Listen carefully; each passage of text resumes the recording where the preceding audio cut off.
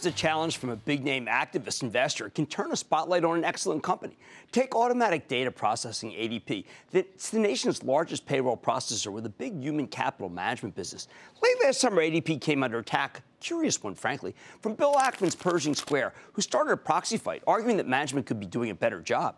Shareholders disagreed. Management prevailed back in November. While the stock dipped a bit in response, for the last two months, it's been slowly and steadily climbing. Sure enough, just this morning, ADP delivered a strong quarter, posting a 9 cent earnings beat off a 90 cent basis, higher than expected revenues up 8% year over year, fantastic organic growth. Even better, management raised their full year sales and earnings forecast for 2018. To be honest, this is a perfect environment for ADP. Employment is booming. According to ADP itself, the private sector added 234,000 jobs this month. And on top of that, the Fed is on track to raise interest rates multiple times this year. That matters because when your employer wires ADP their payroll budget, these guys collect interest on what's known as the float until you cash the paycheck. Hence why the stock just made a new all-time high. Can it keep climbing? Let's take a closer look with Carlos Rodriguez, the president and CEO of Automatic Data Processing, to learn more about the quarter and his company's prospects. Mr. Rodriguez, welcome back to Mad Money. Good to see you, Carlos. Have a seat. Good to see you. Congratulations on a great quarter. Thank you. Uh, and I, am trying to figure out the. I mean, is this not the perfect environment for ADP, frankly? It's practically perfect. There could always be something that could be better, but it's practically perfect. Got the rates going up. The job, the job creation in this country is rather amazing right now, isn't yeah. it? Yeah. The, the tax cuts obviously are going to be a stimulus to the economy, right. so it's going to.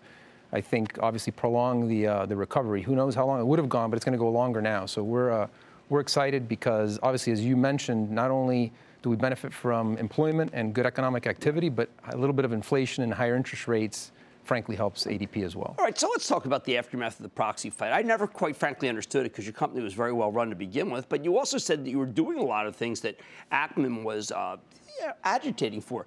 Uh, where are those things and are they helping? Well, I think that we, uh, we obviously listened to all of our investors and we listened very carefully to what Bill had to say. In fact, I've been in touch with him, so we have, I think, what I would call a collegial and professional really? relationship. It's certainly better than you had during that uh, kind of turmoil period. Right? It's all water under the bridge. Right. And so I think that we, uh, we felt like we had a good strategy. I think Bill had some ideas of things that we should be doing differently. I think really really came down to is really about pace.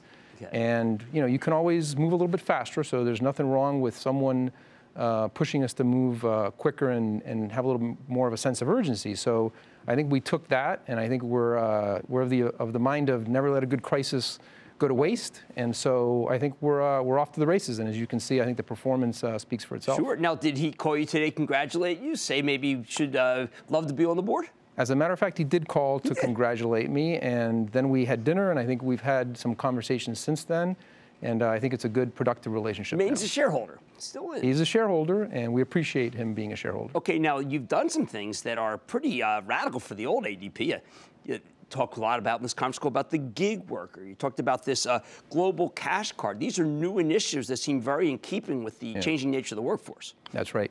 Well, like you said, the, the nature of the workforce is changing, and gig workers are one of the factors. And so the most popular image that people have of that is Uber and people right. kind of working – uh, on the side, but it's really across the whole economy. There's uh, approximately 35 million people who work as independent contractors or get a 1099. Right. And as you know, they need to have their their uh, they need help in terms of compliance. They need help with uh, managing their finances, and the employers who use them as independent contractors need that help as well. So it opens up a whole new market for us in addition to the W-2 employees, which are our traditional source of business. Now, Carlos, uh, some of these analysts uh, cited the fact that, um, here's a um, BMO note that the uh, EBITDA, the margins were uh, below the consensus 18, 18.9. They won, it was 18.6. Now, this was something that Bill complained about. Did Bill say, listen, the margins aren't still where I want them? He, he, I think he thinks that there's a lot more opportunity and upside.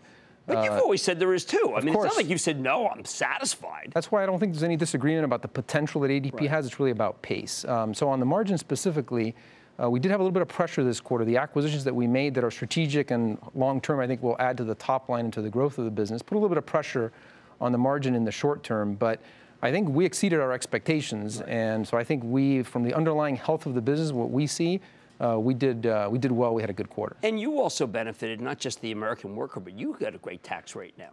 We did. Um, we happen to be a, uh, an, uh, a company that has a relatively high effective tax rate. And so it really adds a nice, uh, a nice chunk of change, I think, to our bottom line and allows us potentially return more capital to our shareholders through dividends, subject to the board approval. Now, uh, can you speak to the strength of the economy? I, have been a lot of a lot of CEOs candidly try to politicize this. A lot of people politicize it. Now they say, listen, the real it's not a real recovery. Or if it was real recovery, you'd see wage growth, and then we get a little wage growth. Real recovery, you'd see a lot of jobs. We're starting to get that. I mean, the, you've been around. Strength of the economy right now. It's strong. It is. Uh, it's strong. I think what's happened is these things always, you look at them month to month, and you have to yeah. look at them over longer periods of time, rolling six month, rolling right. 12 periods. And I think what's happened is there was so much underemployment that I think people probably under anticipated how long it would take for the wage pressures right. to build up because people had to be brought back into the labor force. But we're clearly seeing in our numbers now, and I think the government numbers are starting to show wage inflation is definitely picking up, which is actually well, a positive sign. That? And people, that's what we want. Yeah. All right, one, one last question. Uh, there are many of us out there trying to figure out the new tax code, particularly about the professional employment organizations. Who, who benefits, who's not benefiting? What are you telling people? Because my accounts are telling me, listen, it's still not even clear.